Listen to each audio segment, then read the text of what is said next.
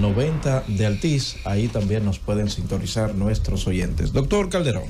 Muchas gracias, Roberto. Bueno, hoy como siempre tenemos una invitada de fuste, de honor, una mujer maravillosa con nosotros. Ella es médico oftalmóloga y con una subespecialidad en, en oftalmología pediátrica y estrabismo. Es egresada de la Universidad Iberoamericana UNIBE. Hizo sus especialidades en el hospital Elías, Elías Santana, que si lo llamamos así, pues posiblemente no sabemos. Nadie, lo conoce. Si lo llamamos los americanos, sabemos dónde está ubicado. Exacto. Y en el Vasco Partner de la ciudad de Miami, donde ella hizo sus especialidades eh, pediátricas. Este día 10 de octubre, ¿verdad? Fue un mes donde se celebró el Día Mundial de la Visión. Y hay un informe importantísimo, doctora, emitido por la Organización Mundial de la Salud, que habla que 2.200 millones de personas en el mundo padecen trastornos visuales.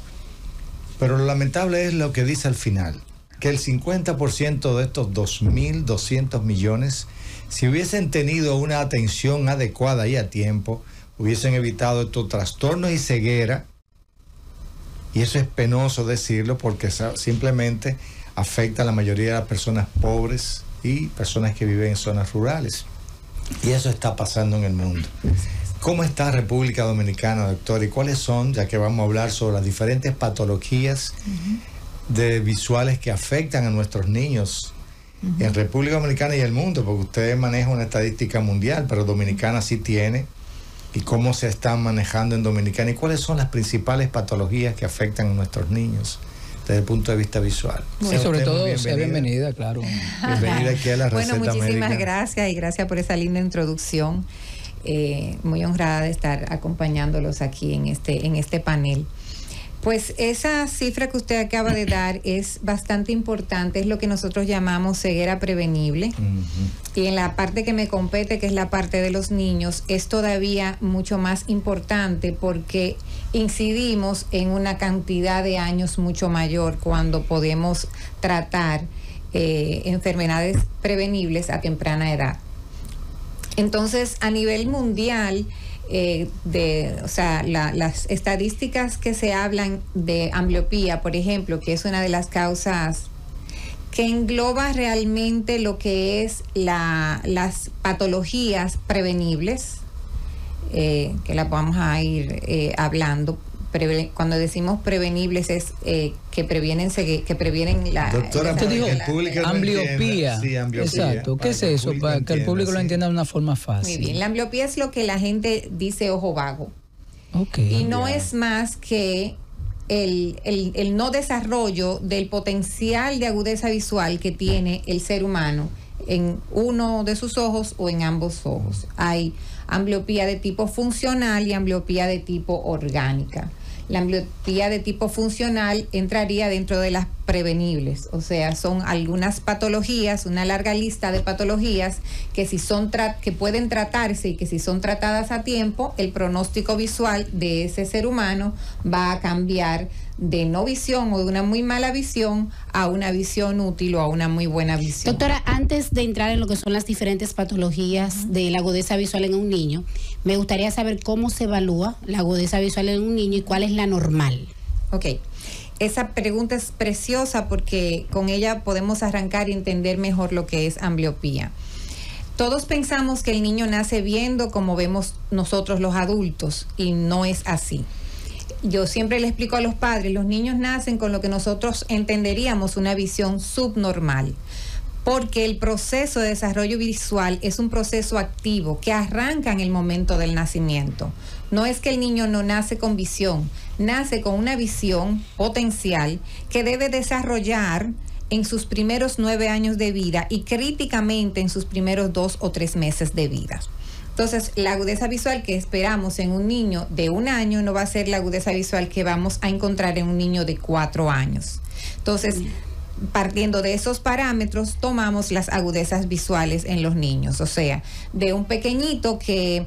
Eh, debe seguir objetos, haya un niño de cuatro años que debe ver un 2020 de una cartilla de Snellen normal, que es la que usted y yo la que usted conoce, con la que le toma la duda visual a todo el mundo.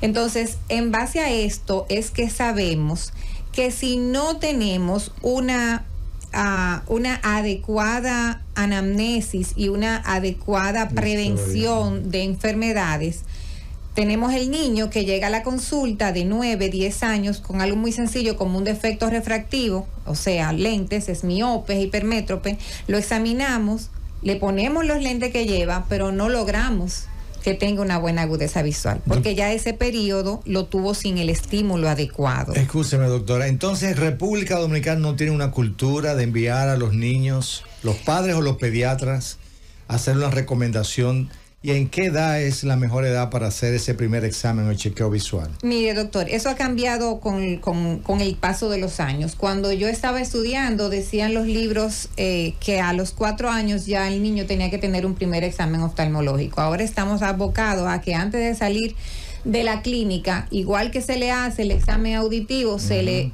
haga al niño el examen oftalmológico. Independientemente de la edad gestacional. Independientemente de la edad gestacional a la que nazca, el, niño sano, no importa.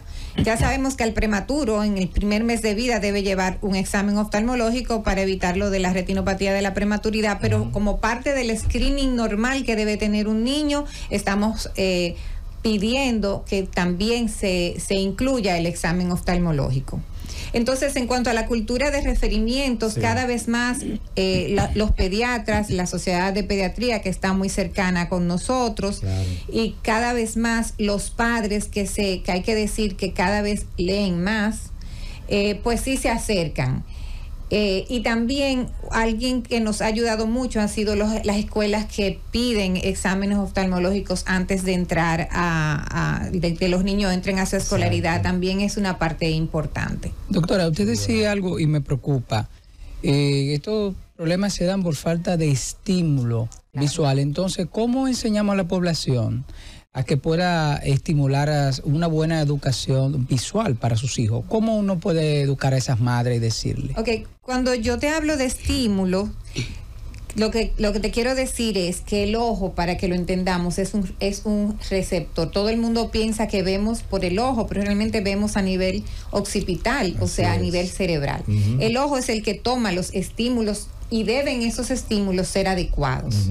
O sea, eh, si un niño tiene una catarata, si un niño tiene un defecto refractivo, si un niño tiene una opacidad en la parte de adelante de, la parte transparente que es la córnea, no va a tener un estímulo adecuado. O sea, a ese estímulo es que me, que me refiero. Y el uso ahora que se ha puesto muy de moda, tablets, teléfono, eso eh, ciertamente es un mito, una realidad que le causa problemas severos a los niños en la, en la visión. No, no, no es un mito y definitivamente tal vez cinco años, seis años atrás no sabíamos mucho qué estaba pasando.